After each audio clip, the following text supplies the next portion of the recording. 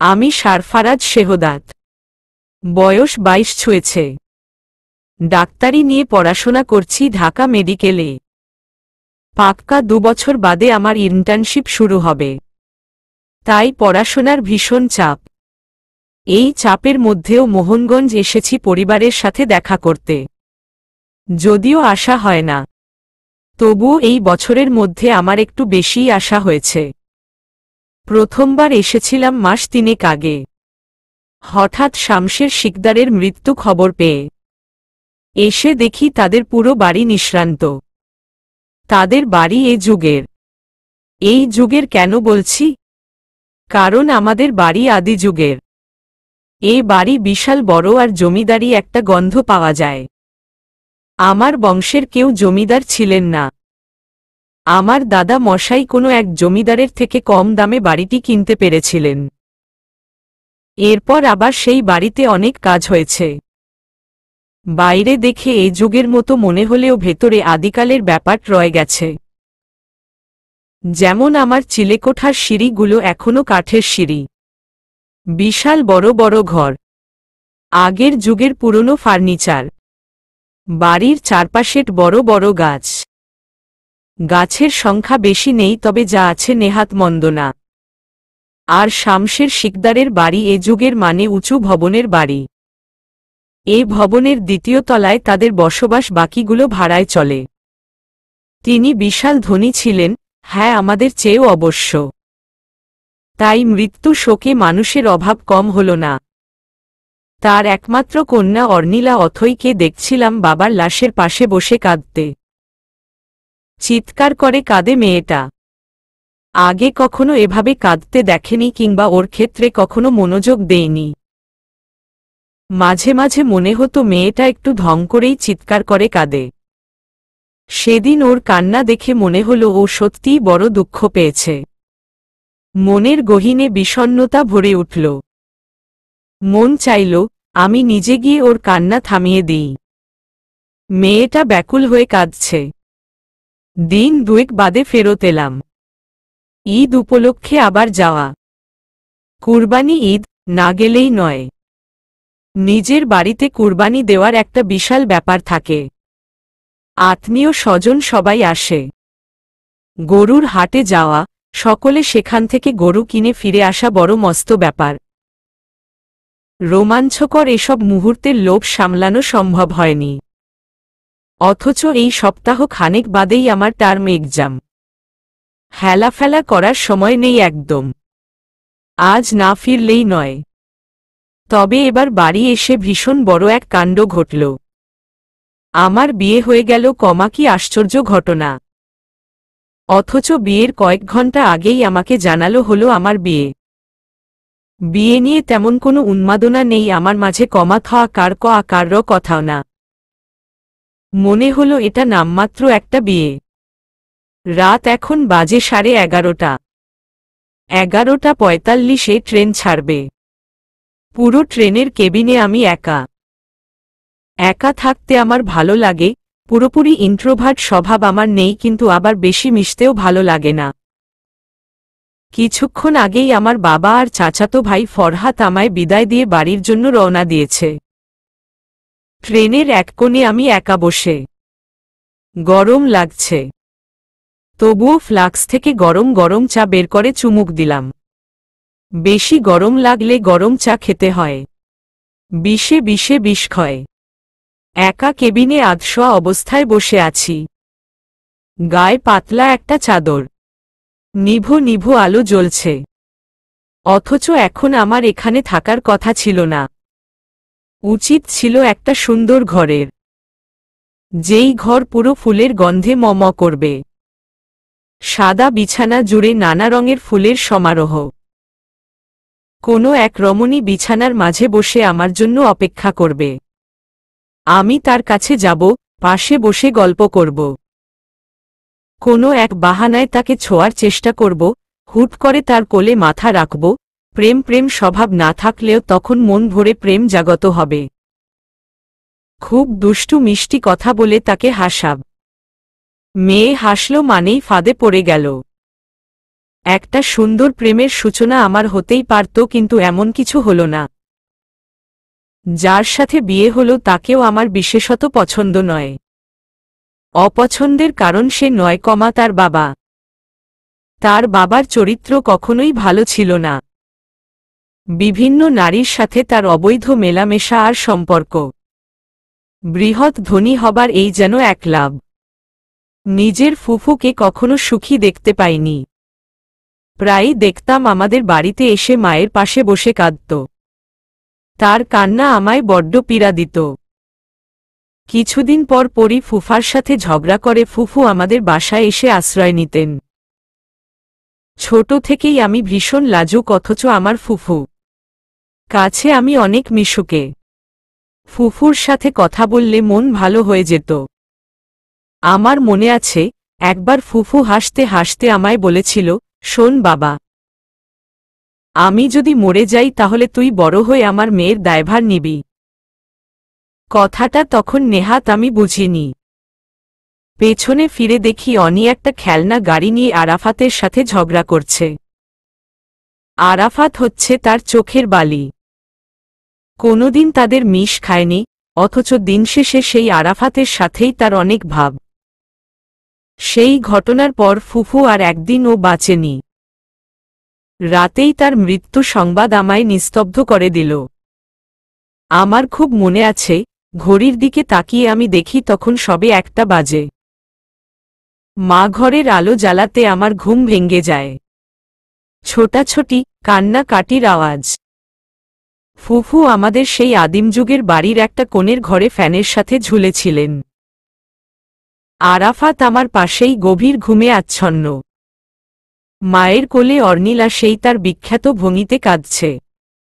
মায়ের মৃত্যু কি তখনও বোধ হয় সে বুঝে না, তাহলে কেন কাঁদছিল? মায়ের কান্না আমার অবাক করেনি, অথচ বাবার চোখে অশ্রুজল আমায় হতবাক করেছিল। কখনো তাকে কাঁদতে দেখেনি আমি। সেই ঘরটাই আজ বাবার স্টাডি রুম, বিশাল বিশাল কাগজপত্র দিয়ে ভরা সেই ঘর, দিনের বেশিরভাগ সময়ই সেই ঘরে সময় কাটান তিনি। বোনকে কত ভালোবাসতেন এরপর বোধ হয় আর বলার প্রয়োজন নেই। সেই কাদো মেয়েটাকে মা আমার বিছানার উপর রেখে চলে গেলেন। দায়িত্ব দিয়ে গেলেন আমাকে। অর্নিলা আমার বিছানার উপর বসে হাত পা ছড়িয়ে কাঁদছে। সেদিন প্রথমবারের মতো তাকে আমি আগলে নিয়েছিলাম। জড়িয়ে ধরে শান্ত করার চেষ্টা করেছিলাম। সেটাই প্রথম আর সেটাই শেষ। এরপর আর কখনো তাকে আমি অমন আবেগ নিয়ে জড়িয়ে ধরেনি। অমন করে স্নেহ দৌড়ে তাকে আবদ্ধ করেনি। তার উপর আমার অদ্ভুত এক রাগ জন্মাতে লাগল। কারণ ছিল তার বাবা। তার বাবা একজন চরিত্রহীন পুরুষ। কাপুরুষ। অথচ সেই কাপুরুষের মৃত্যুতে সেই মেয়ে কাঁদছিল। আমার রাগ হচ্ছিল। আমার জীবনে তার বাবার চেয়ে বেশি ঘৃণা আমি কাউকে করিনি। অথচ অর্নিলা তার জীবনে হয়তো তার বাবার থেকে বেশি ভালো কাউকে বাসেনি। কি অদ্ভুত অমিল আমাদের। বাবার রক্তই তার শরীরে বইছে। আচ্ছা কমা, সেই কি তার বাবার মতোই হবে? তাদের তো একই বংশ। নিয়াজের সচ্চরিত্র আমায় অবাক করেনি। জানা ছিল এমনই হবে। তাদের বংশ কলুষিত, নিচ, জঘন্য। পুরো একটা বদ্ধ জলাশয়। এই জলাশয়ে কোনো পদ্মফুল ফুটতে পারে না। অর্নিলার থেকে এমনটা আমি আশা করি না। তবুও তাকে পুরোপুরি ঘৃণা করতে পারি না। আমি বোধহয় মাঝামাঝি আছি। না পারছি তাকে পুরোপুরি ঘৃণা করতে, না পারছি ভালোবাসতে। কারণ দিনশেষে আমিও আমার ফুফুর একটা ছায়া তার মধ্যে দেখতে পাই। তবুও যদি অর্নিলা আমায় ঠকায়, তবুও আমি অবাক হব না। মেনে নিব, এটা তার বংশের রোগ, ডিএনএ বলেও তো কিছুই আছে। আনমনে হেসে উঠলাম। অনেক ভাবা হয়েছে আর না। ঘুমাতে হবে।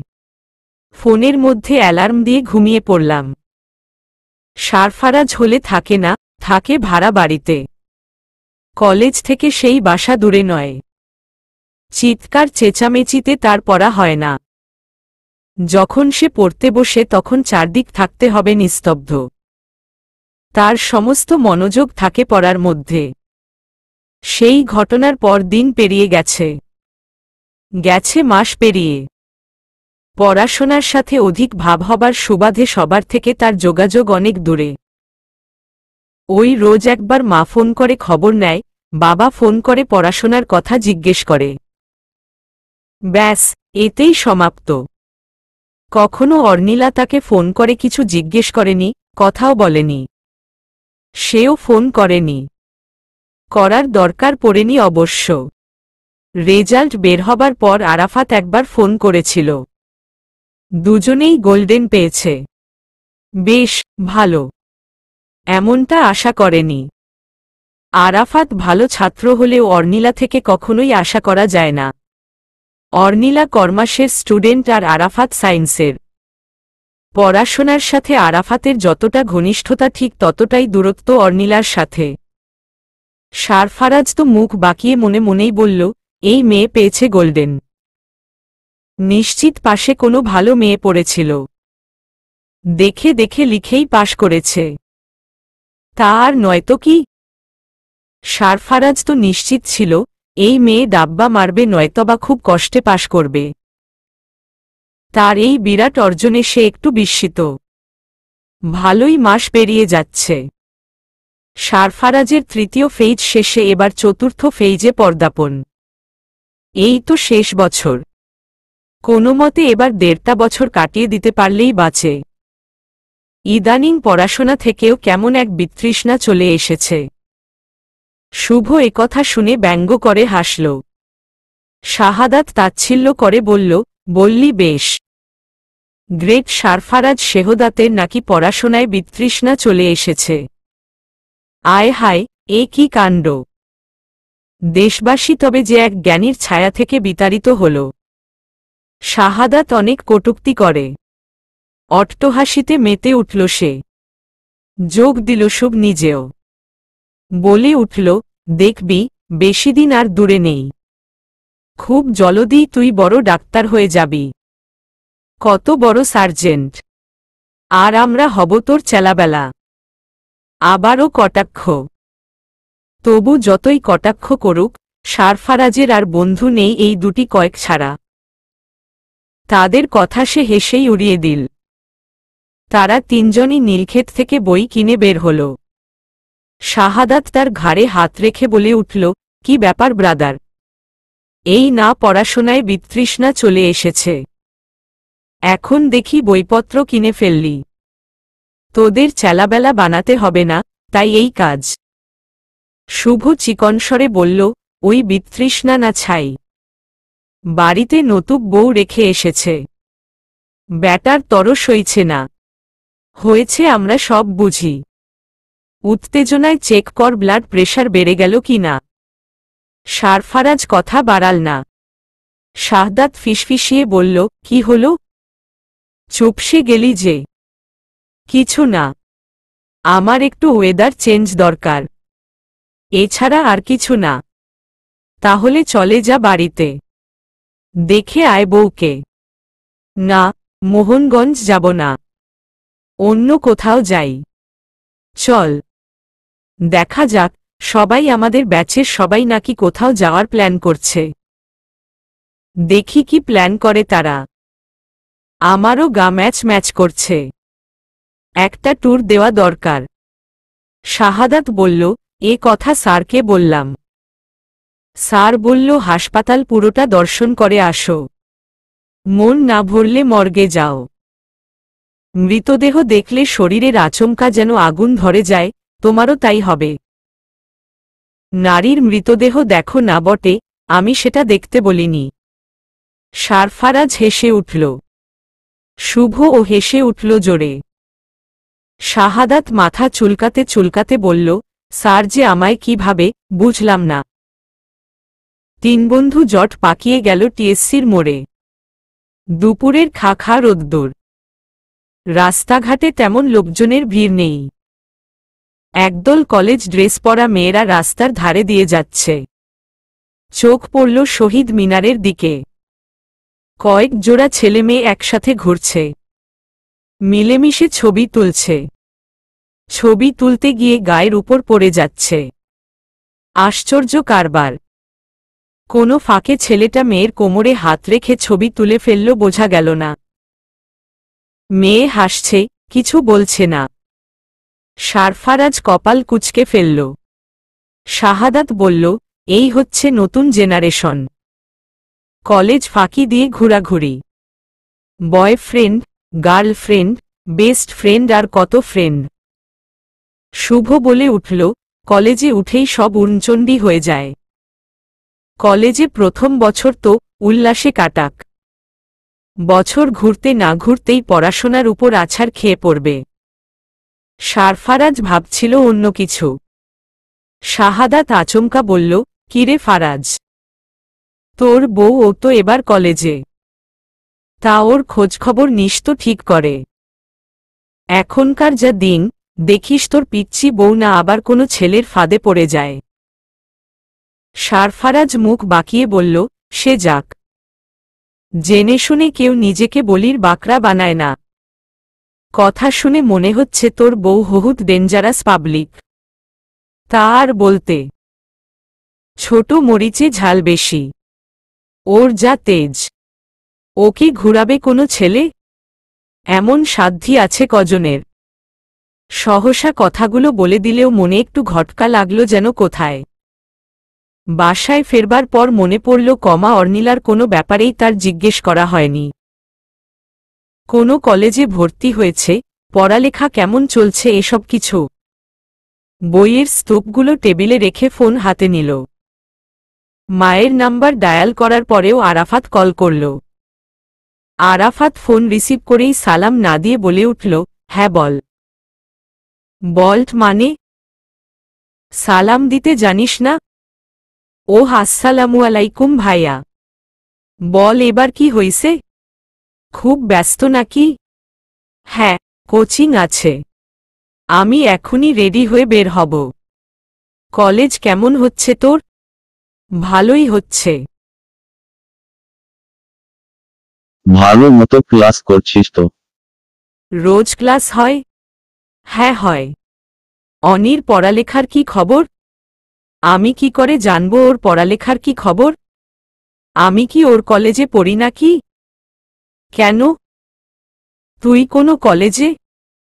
আমার তো বয়েজ কলেজ আর ওর হচ্ছে গার্লস কলেজ। এভাবেও বুড়ির পড়ালেখার খবর আমি জানি না। নতুন ফোন পেয়ে সারাদিন ফোন নিয়ে গুতোগুতি করে। ও নতুন ফোন পেয়েছে? হ্যাঁ কেন তুই জানিস না। আমি নাম্বার মেসেজ করে নে। আমি রাখলাম। বলেই ধপ করে ফোন কেটে দিল। বাবা মহাব্যস্ত সকলে। সারফারাজ ফোনটা টেবিলে রেখে ভাবতে লাগল, অনি ফোন পেয়েছে। কই? তাকে তো কেউ বলল না। আর সারাদিন ফোন নিয়ে গুতোগুতি কিসের? কার সাথে আবার কথা বলে এত? কই? তাকে তো কখনো ফোন করেনি। এর মধ্যে টুং টুং শব্দ এলো।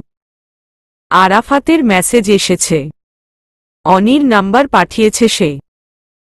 ট্যুরে সবাই গেল বান্দরবন অথচ সারফারাজের মন অন্য কোথাও পড়ে থাকার কারণে তাকে মোহনগঞ্জ ফেরত আসতে হল। অর্নিলার ফোন নাম্বার থাকা সত্ত্বেও তাকে ফোন দিতে পারেনি সে। কেন পারেনি? কারণ কখনোই ফোনে আলাদাভাবে তাদের কথা হয়নি। আচমকা এবার ফোন করাটাও কেমন যেন অস্বস্তিতে ফেলে দেয়। লজ্জায় কাউকে মুখ ফুটে বলতে পারছে না, কমা অর্নিলার খোঁজ নিতে তার বড্ড ইচ্ছে হয়। আর কেউই তাকে সেধে জানাতে চায় না অর্নিলার কথা, সবার কাছেই বিয়েটা নামমাত্র। ফারাজের কাছেও তো তাই হওয়া চাই, হচ্ছে না। কেমন যেন সবটা গুলিয়ে যাচ্ছে। হঠাৎ তার আগমনে সবাই হতভম্ব। শাহিনুর বেগম দরজার কাছে দাঁড়িয়ে অবাক স্বরে বললেন, কখনো তো ফোন ছাড়া আসো না, আজ হঠাৎ শরীর ঠিক তো তোমার? সারফারাজ হাসার চেষ্টা করল। ব্যাগ হতে ভেতরে পা রাখল। এই ভর দুপুরবেলা দরজায় কে এলো দেখার জন্য বাবাও এগিয়ে এলো। দরজার সামনে সারফারাজকে দেখতে পেয়ে একটু বিভ্রান্ত হলেন। মৃদুস্বরে বললেন, সাবধানে এসেছ তো। শাহিনুর বেগম ছেলের মাথায় হাত বুলিয়ে জবাব দিলেন, দেখো না। কিছু না বলেই হুট করে চলে এলো। বাবা, তোমার শরীর ঠিক আছে তো? একদম ঠিক আছি। পরীক্ষা শেষে সবাই ঘুরতে গেল। তাই ভাবলাম আমিও যাই। সবার সাথে তুমি গেলে না কেন? বাবার প্রশ্নে একটু হকচকিয়ে গেল সারফারাজ। তার হঠাৎ আগমনে সবাই এত অবাক হবে বুঝতে পারেনি। কে জানে? কে কি ভাবছে? দ্রুতই সামলে নিল। বলে উঠল, আমার একটু রেস্ট দরকার বাবা। পড়াশোনায় ঠিক করে হচ্ছে না। তাই একটু বাড়ি চলে এলাম। বেশ, যাও ঘরে যাও। ফ্রেশ হয়ে নাও। তোমার মা এবার রান্নাঘরে গিয়ে তোমার জন্য রাঁধতে শুরু করবে। সময় নষ্ট করো না। অতঃপর বাবা এগিয়ে গেলেন স্টাডি রুমে। এখন তিনি অবসরপ্রাপ্ত। সারাটে দিন বসে বসে বই পড়েই কাটিয়ে দেন। এছাড়া টুকটাক কিছু কাজ। সারফারাজ ব্যাগ হাতে নিজের ঘরের দিকে রওনা দিল। পথিমধ্যে একটু থামল। আচ্ছা তার ঘরে কি আবার অর্নিলা দখল করে নিয়েছে? না, নিশ্চিত এমনটা হবে না। আশঙ্কা খুব কম, তা সত্ত্বেও একটু আশা বাঁধছিল মনে, হয়তো অর্নিলাকে ঘরে দেখবে। কিন্তু কই? কোথায় অর্নিলা?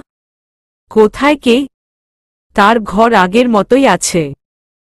বিছানা, বইপত্র, অন্যান্য জিনিস সবই জায়গা মতো। কিছুই বদলায়নি। বিছানার চয়া কার দরটা অবধি নষ্ট হয়নি। বোঝাই যাচ্ছে কমা তার অনুপস্থিতিতে তার ঘরে বিশেষ কারও আগমন ঘটেনি। বিশেষ কেউ? হ্যাঁ বোঝাই যাচ্ছে সে কে? ঘরে ঢুকে ফ্রেশ হয়ে নিল সারফারাজ। কাপড় বদলে ঘর ছেড়ে বের হতেই দেখল ডাইনিং টেবিলে বসে আরাফাত খাচ্ছে। পাশেই তার ব্যাগ, এখনই খেয়ে দিয়ে বোধহয় পড়তে যাবে। আরাফাত তার দিকে ফিরে হাসল। কথা বলতে পারল না খাবারের কারণে। তার বোধহয় অনেক তারা শাহিনুর বেগম এসে খাবার বাড়ালেন সারফারাজের জন্য। চেয়ারে বসে এদিক থেকে ওদিক তাকাচ্ছে। অনিকে কোথাও দেখা যাচ্ছে না। ঘড়ির কাটা বরাবর আড়াইটে বাজে। অর্নিলা কি এখনও বাসায় আসেনি? মা না থাকলে আরাফাতকে জিজ্ঞেস করা যেত। কিন্তু মা সরছে না। আরাফাতের খাওয়াও শেষ হয়ে যাচ্ছে। একে পরে আর পাওয়া যাবে না। সারফারাজ বলে উঠল, লেবু কোথায়? লেবু? লেবু খাবে তুমি। তোমার তো লেবু পছন্দ না ফারাজ। জানি, কিন্তু আজ একটা খেয়ে দেখব। আচ্ছা আমি কেটে নিয়ে আসছি। রান্নাঘরে চলে গেলেন শাহিনুর বেগম। আরাফাত ভকভক করে পুরো গ্লাসের পানি শেষ করে উঠে দাঁড়াল। সারফারাজ মৃদু স্বরে জিজ্ঞেস করল, কোথায় যাচ্ছিস? কোচিংয়ে। আজ পরীক্ষা আছে কোচিংয়ে। ও আচ্ছা। এত জলদি পরীক্ষা। তোদের তো কলেজ এই সবে শুরু হল। এই সবে না। অলরেডি চার মাসের মতো ক্রস করে গেছে। আর কলেজেও এক্সাম শুরু হয়ে গেছে। ওহ, তা তোরই শুধু কলেজ আছে।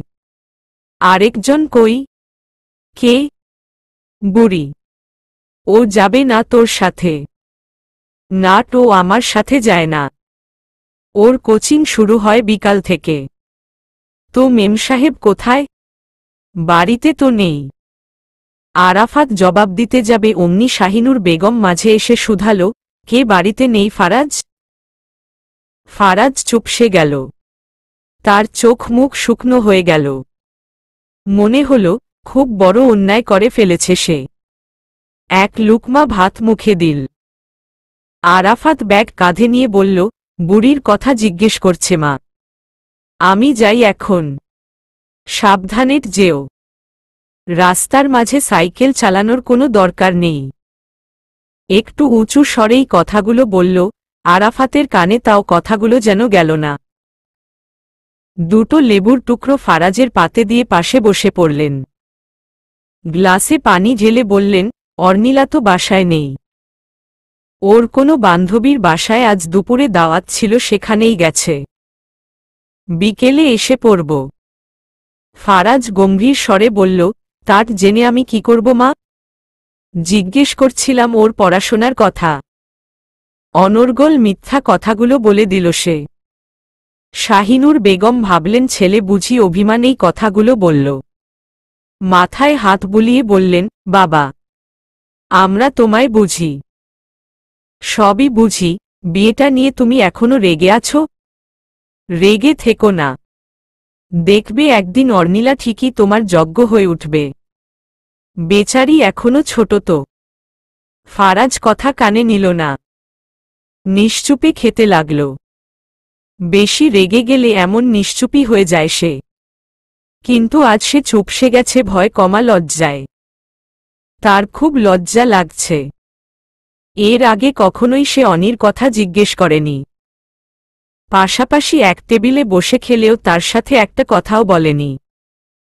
আজ হঠাৎ এভাবে জিজ্ঞেস করতে গিয়ে তার স্বর আটকে যাচ্ছে। শাহিনুর বেগম ও তাই চুপসে গেলেন।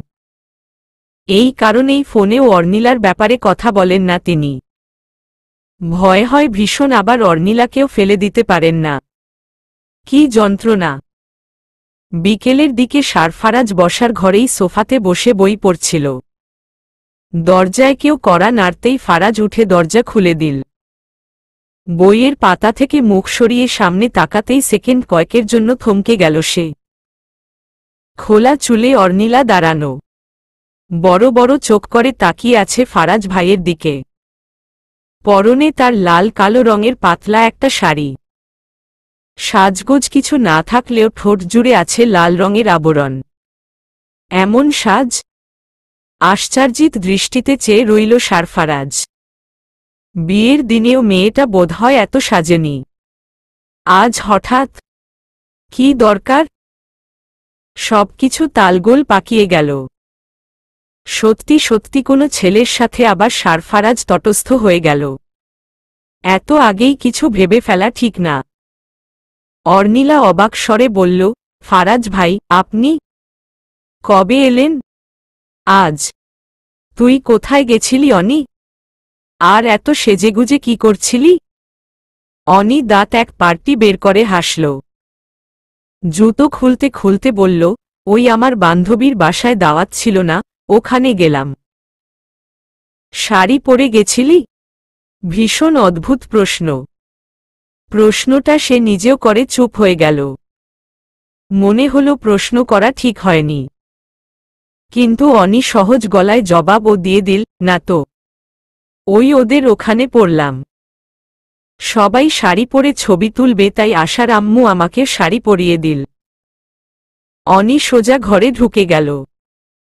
সারফারাজ নিশ্চুপ হয়ে উত্তর শুনল।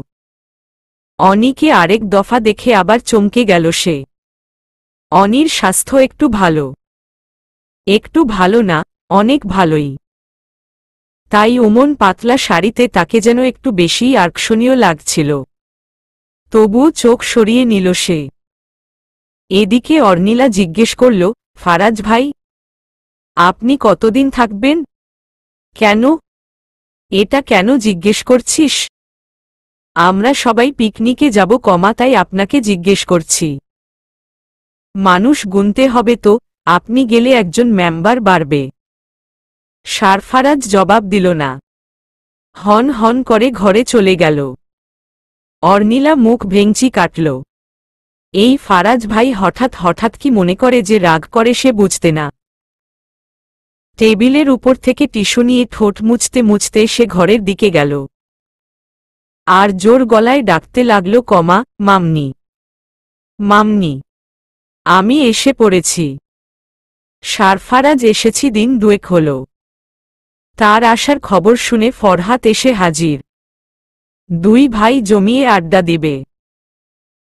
এর মধ্যেই খবর আসলো, শিকদার বাড়ি থেকে খবর এসেছে। ইয়াতিম শিকদারের বড় ছেলে তারেক শিকদার খবর নিয়ে এসেছে। সারফারাজ এখানে আসার খবর সেই বাড়িতে ইতিমধ্যে চলে গেছে। তারেক এসেছে অর্নিলা আর তার স্বামীকে দাওয়াতে দিতে। কিছুদিন যেন তাদের বাড়িতে গিয়ে বেরিয়ে আসে। এমন অদ্ভুত দাওয়াতে সারফারাজ একটু অবাকি হল। ফরহাত হেসে হেসে বলে উঠল, আরে তোকে ডাকছে কারণ আছে। তুই গেলে অর্নিলা ওই বাড়িতে যেতে পারবে। না হলে তো অর্নিলাকে একা ওই বাড়িতে যেতে দেওয়া হয় না। এখন না গেলেই বা কি হয়? যাবার দরকার নেই। দরজার সামনে দাঁড়িয়ে আরিফ হাসান সহজ গলায় বললেন, যেতে হবে। না গেলে এই নিয়ে পড়ে আলাপ আলোচনা হবে। সবাই ভাববে আমরা অর্নিলাকে আটকে রেখেছি। তিল থেকে তাল বানাতে বেশি সময় লাগবে না। আমার কথা তুমি বুঝতে পেরেছ, ফারাজ। বাবার মুখের উপর কথা বলল না, ফারাজ। ফরহাত হেসে মিনমিনিয়ে বলল, ভালোই তো হলো ব্যাটা। বিয়ের পর তো কোথাও ঘুরতে যেতে পারলি না, ধরে নে, এটাই তোর হানিমুন। চুপ করবি তুই। ফরহাত চুপ করবে কি? মুখ টিপে হাসতে লাগল। বাবা আচমকা জিজ্ঞেস করে উঠলেন, কি ব্যাপার ফরহাত তুমি হাসছ কেন? কিছু না, আঙ্কেল, ওই এমনি। আরিফ হাসান ছোট ছোট চোখ করে কিছুক্ষণ তাকিয়ে বের হয়ে গেলেন। এই ছেলেকে তার পছন্দ আবার পছন্দও না। মাঝে মাঝে বড়দের সামনেই বেফাস কথা বলে ফেলে। পরদিন অর্নিলাকে সাথে নিয়ে শিকদার বাড়িতে পৌঁছাল সারফারাজ। তারা আশাতে বাড়ির সবাইকে মহাখুশি দেখাল। সায়েমা ভাবি এসে অর্নিলার থুতনিতে চুমু খেয়ে আদর করলেন। লাজুক স্বরে বললেন, কি ব্যাপার অনি? বরকে নিয়ে ঘুরতে বেরিয়ে গেলে? অর্নিলা হাসল। সারফারাজের সামনে ইয়াতিম শিকদার। দুজনেই চাচাকে সালাম দিল। সায়মা অর্নিলাকে নিয়ে ভেতরের ঘরে চলে গেলেন। সারফারাজকে নিয়ে চাচা বসলেন বসার ঘরে। ফারাজ বারবার আর চোখে এদিক ওদিক তাকাচ্ছে। কোনোভাবে নিয়াজকে দেখা যায় কিনা সেটাই দেখার চেষ্টা করছে। নিয়াজকে আশপাশ পাওয়া গেল না। চাচার সাথে দুটো কথা বলে সারফারাজ ঘরে ঢুকল। দেখল অর্নিলার হাতে আবারও একটা শাড়ি। গোলাপি রঙের জামদানি শাড়ি। সে আবারও খুশিতে আটখানা হয়ে বলল, কমা উদ্ধৃতি চিহ্ন ফ আকার আকার জ ভাই দেখেন ভাবি আমায় এই শাড়িটা দিয়েছে। সুন্দর না। হ্যাঁ খুব সুন্দর। যাও ব্যাগে রেখে দাও। কি ব্যাগে রেখে দিব? এটা পরব এখন। সারফারাজ ভাবতে লাগল। সেদিন আচমকা অর্নিলাকে শাড়ি পরা দেখে তার মনে যেই অনুভূতির সৃষ্টি হয়েছিল, অন্য কোনো ছেলের যে তেমন অনুভূতি হবে না, তার গ্যারান্টি সে দিতে পারছে না। অর্নিলা সুন্দরী। মোটাসোটা মেয়েটা শাড়ি পরলেই আরও বেশি সুন্দর লাগে। তখন যে কোনো ছেলেরই তাল সামলানো মুশকিল হতে পারে। আর এই বাড়িতে তো নিয়াজ স্বয়ং উপস্থিত। কোনোভাবেই অর্নিলাকে শাড়ি পরতে দেওয়া যায় না। সারফারাজ বারণ করে দিল। বলল, তুমি তো শাড়ি পরতে পারো না, অনি। এটা এখন রেখে দাও, বাসায় গিয়ে মা পরিয়ে দিবে। যখন অনিকে বুঝিয়ে কোনো কথা বলতে যায় তখন, তুমি, শব্দটা আপনা আপনি চলে আসে। অর্নিলাও লক্ষ্মী মেয়ের মতো মাথা দুলাল। সারফারাজ ফ্রেশ হয়ে আবারও বেরিয়েছে। ইয়াতিম শিকদার ডেকে খবর পাঠিয়েছে। সারফারাজের কেবল মনে হচ্ছে ইয়াতিম শিকদার তাকে কিছু একটা বলতে চায় কিন্তু বলতে পারছে না। কিন্তু সেটা কি? অনির সম্পত্তি বিষয় কিছু? তার খয়েরি রঙের শার্টটার হাতা ফ্লোট করতে করতে সারফারাজ বেরিয়ে গেল। এই বাড়িতেও এর আগে একবার এসেছিল সে। এই বাড়িটাও খানিকটা তাদের বাড়ির মতোই। তবে তাদের বাড়ির মতো বিশাল বড় না। তার চেয়ে একটু ছোটই হবে। আর তাদের বাড়ির পিছনে কোনো দিঘি নেই কিন্তু এই বাড়ির পিছনে আছে। এই দিঘিটা তার খুব ভালো লাগে।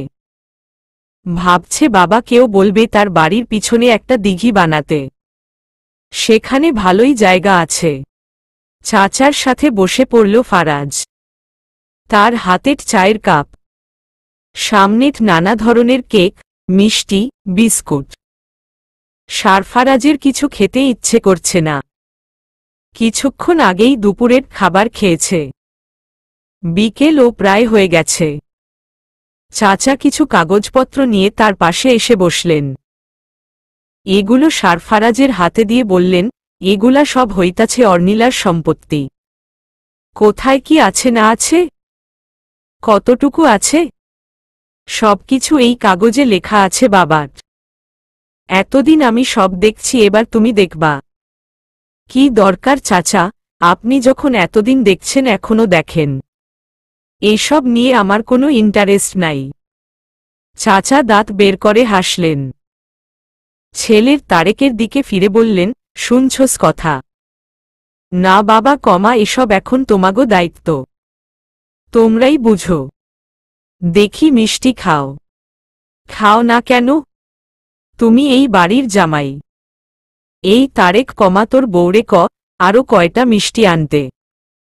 দরকার নাই চাচা। আমি অনেক খেয়েছি আর না। এরপর খেলে বদহজম হয়ে যাবে। আমি ঘরে গিয়ে একটু রেস্ট নেই।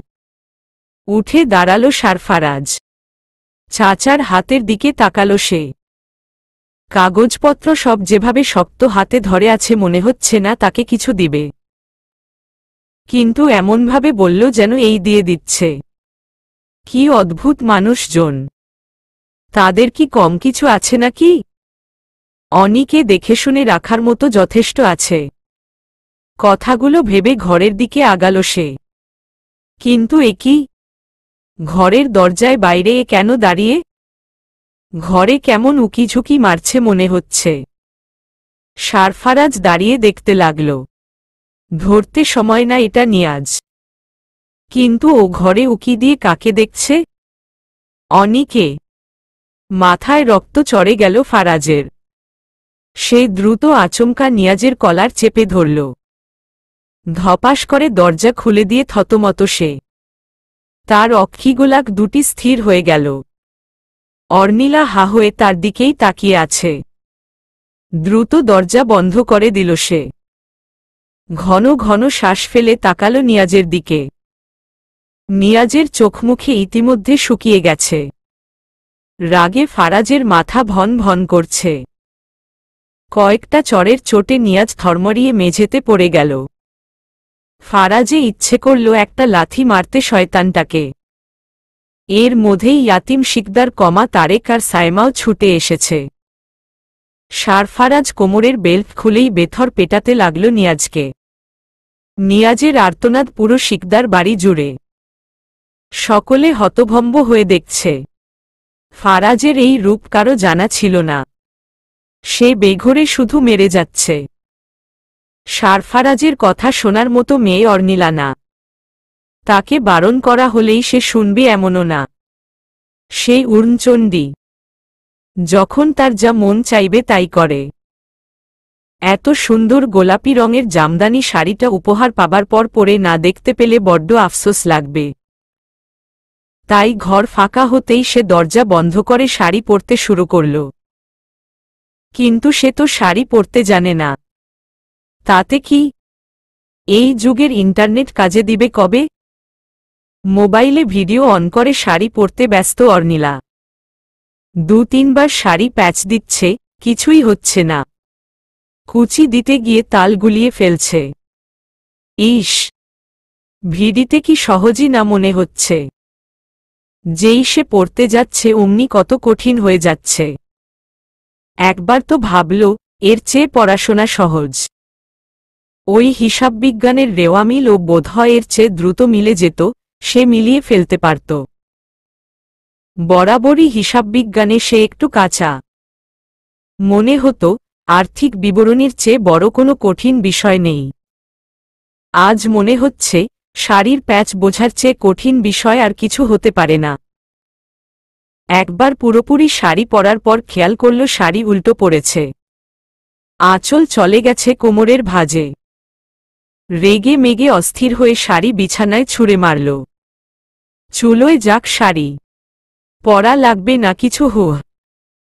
ফের দু মিনিট আবারও শাড়ি তার হাতের মুঠোয়। এবার সমস্ত মনোযোগ ওদিকে। ইস এত মনোযোগ দিয়ে পড়াশোনা করলে স্যারের কাছে আর মার খেতে হতো না। তখন যে মনোযোগ সব থাকে কোথায়? বুঝে উঠতে পারে না। তার ফর্সা শরীরের সবচেয়ে আকর্ষণীয় স্থান কোমরের অংশ ফুটে উঠেছে লাল রঙের ব্লাউজ আর পেটিকোটে। কে বলে? মোটা মেয়েদের শাড়িতে মানায় না। অর্নিলাকে তো বেশ মানায়। সেদিন প্রথমবার পরেই সে বুঝে গেছে। মামনি কত আদর করে বলল, আমার অনিকে ভারী মিষ্টি লাগছে। ওই তো হ্যাঁ বিয়ের দিন। কাজল লেপটে দিল কানের লতিতে। কারও নজর না লেগে যায় বুঝি। একাকী হেসে উঠল অর্নিলা। এবার সে শাড়ি পরেই ফেলব। তাকে পরতেই হবে। শিকদার বাড়ি বাইরে থেকে যেমন আগের যুগের ভেতরেও তাই। এই ঘরের পুরনো দরজা এখন আর আগের মতো সুরক্ষিত নেই। খুব সহজেই সেই দরজার ছিটকিনি খুলে ফেলা যায়। বড় আয়নার সামনে দাঁড়িয়ে অর্নিলা যখন শাড়ির প্যাচ বুঝতে ব্যস্ত, ঠিক তখনই দরজার আড়াল থেকে উকি মারছিল বখাটে নিয়াজ। চরিত্রহীনের সাথে সাথে লজ্জা, সরম ও লোপ পেয়েছে তার। অর্নিলা উলঙ্গ কোমর, উদাম পিঠের অংশ নজর কেড়ে নিচ্ছিল তার। মাতাল চোখে পাগলের মতো তাকে দেখছিল সে। এতই গভীর ছিল তার মাঝে, বুঝেনি কখন এসে যমরাজ পিছনে এসে আস্তানা বাঁধল। হঠাৎ করেই শার্টের কলার চেপে ধরতেই হুশ ফিরল তার। ফারাজ তখনও বুঝতে পারেনি কি দেখছিল নিয়াজ। অজান্তেই দরজা খুলে ফেলল। হঠাৎ দরজা খোলার শব্দে শাড়ি হাতে পিছন ফিরল অর্নিলাও। হতভম্ব সে। শাড়ি তখনও তার হাতের মাঝে। অর্নিলা এমন অপ্রস্তুত অবস্থায় দেখে ফারাজ নিজের সরম পেয়ে গেল। দ্রুতই দরজা বন্ধ করে দিল সে। কয়েক সেকেন্ডের মধ্যে কি হল বুঝতে সময় লাগল অর্নিলার। একের পর এক কাণ্ড। বুঝতে পারার পরপরই কোনোমতে শাড়ি পেঁচিয়ে নিল শরীরে। দরজার কাছে আসতেই। তটস্থ সে। শরীর জমে গেছে তার। নিয়াজ ভাইয়ের কান্নার আওয়াজ। তার সাথে ফারাজ ভাইয়ের কঠোর স্বর, আমার বউয়ের দিকে নজর দিবি তুই? আমার বউয়ের দিকে। আজ তো তোকে আমি মেরাই ফেলব। শরীর ঝনঝন করে উঠল অর্নিলা। দরজা খুলে বাইরে কি হচ্ছে দেখার সাহস হল না তার। এক জায়গায় নিশ্চুপ হয়ে দাঁড়িয়ে রইল খানিক্ষণ ধস্তাধস্তির শব্দ। হুলস্থুল একটা কাণ্ড বেঁধে গেছে। দরজার আড়াল দিয়ে উকি মারল অর্নিলা। তার দমবন্ধ হবার জোগাড়। ফারাজ ভাইয়ের চোখ মুখ রাগে লাল হয়ে গেছে। ঘেমে একাকার সে। শার্টের কয়েকটা বোতাম খোলা।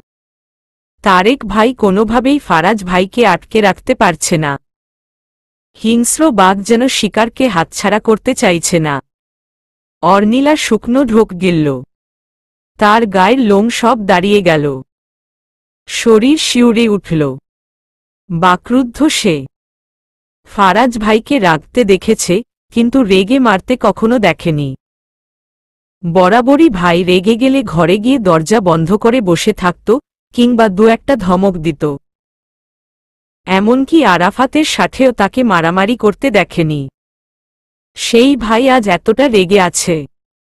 রাগে ফুসছে সারফারাজ। মুখ খুলে শ্বাস নিচ্ছে সে। তারেক পেছনে থেকে জড়িয়ে ধরে আছে তাকে। হাতে বেল্ট এখনও শক্ত হাতে। আরেক দফা মারতে পারলে যেন শান্তি মিলত। কতটা সাহস। তার বউয়ের দিকে বাজে নজর দিচ্ছে, তার ঘরে লুকিয়ে উকি মারছে। জঘন্য। বলতেও লজ্জা লাগছে তার। তারেক ছেড়ে দিল ফারাজকে। তবুও নড়ছে না। মনে হচ্ছে ফারাজ দ্বিতীয় দফায় আবার শুরু করবে। হাতের বুড়ো আঙুল দিয়ে কপালের ঘাম মুছে দরজার দিকে তাকাল। হকচকিয়ে গেল অর্নিলা।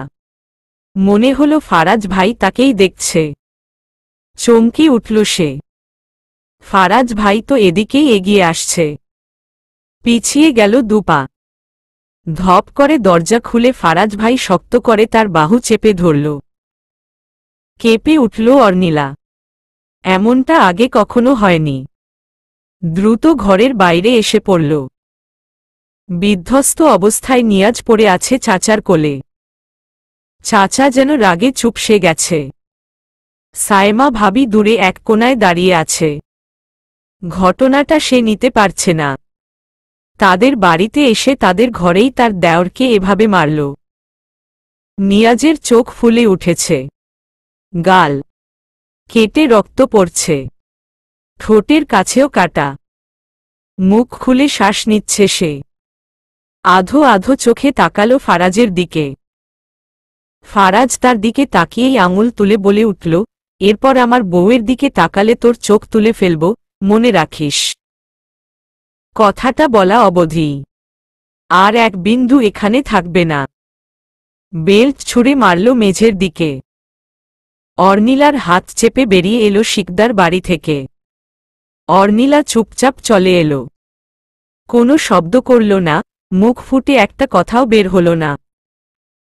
এই প্রথম ফারাজ ভাইকে তার এত ভয় লাগছে। গাড়িতে এসে বসল তারা।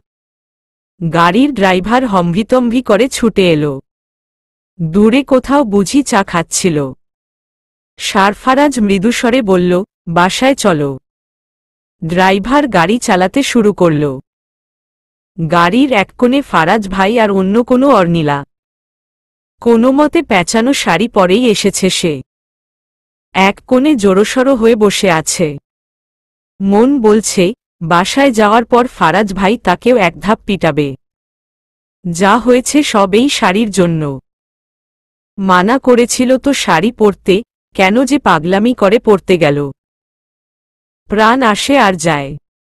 কান্না চেপে রাখতে পারল না সে। ফিরে তাকালো ফারাজ ভাইয়ের দিকে। রক্তবর্ণ দৃষ্টিতে ভাইয়া এদিকেই চেয়ে আছে। প্রথমবারের মতো অর্নিলা নিশ্চুপ হয়ে কাঁদতে লাগল। এই প্রথমবার সে নিশ্চুপে কান্না শিখল। শিকদার বাড়ির হাল মোটেও ভালো না। গরম পরিবেশ এখনও গরম, পরিস্থিতি নিয়ন্ত্রণে নেই। তাদের বাড়ির কাজের লোকের সংখ্যা নেহাত কম না। নিয়াজ যে সবার সামনে সারফারাজের সামনে মার খেল এটা সবাই দেখেছে। কানাঘুষাও চলছে। ডাক্তারকে বাড়িতে নিয়ে আসা হয়েছে। নিয়াজের চোখ, গাল, ঠোঁটে মেডিসিন দেওয়া হয়েছে।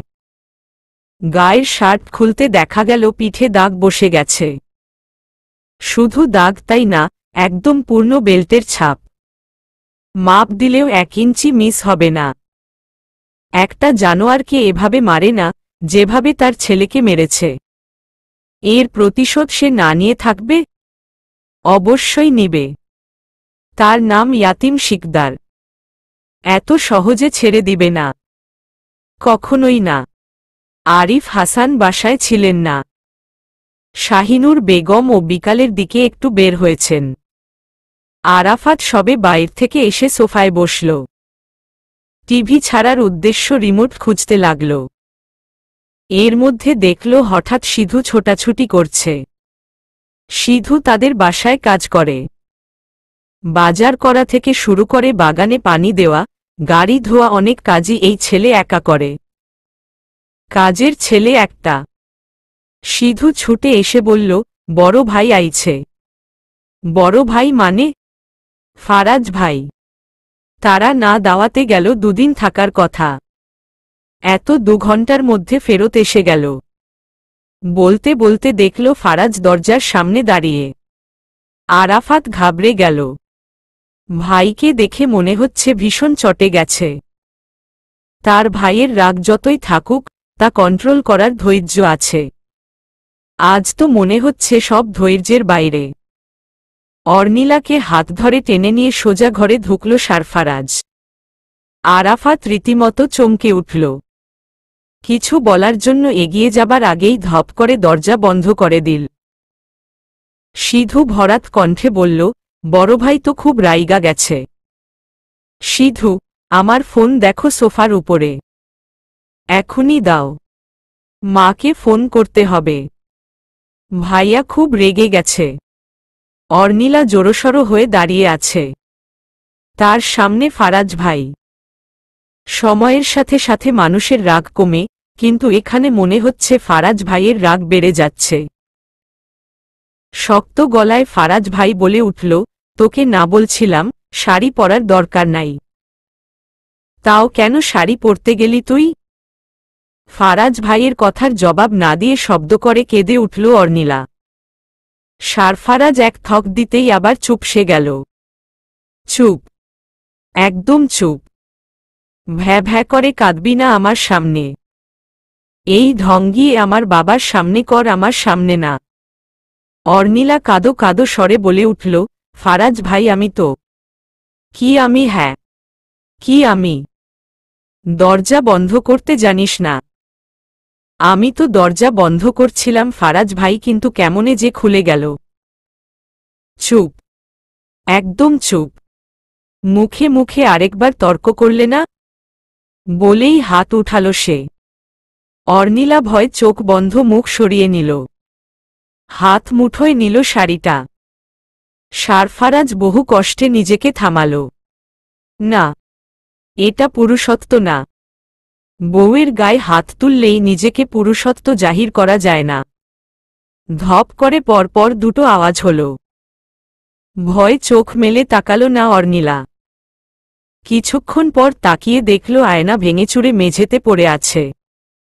ভাইয়া ডেসিং টেবিলের আয়না ভেঙে ফেলেছে। দরজা খুলে বাইরেও চলে গেছে। তার এবার ভীষণ ভয় লাগছে।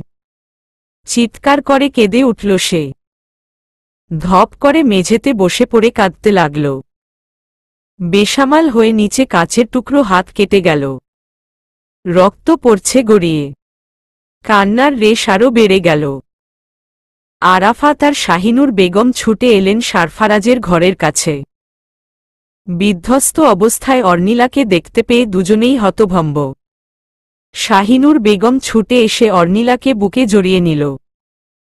অর্নিলা কাঁদতে কাঁদতে বলল, আমি কিছু করি নাই, মামনি। আমি কিছু করি নাই। চলবে।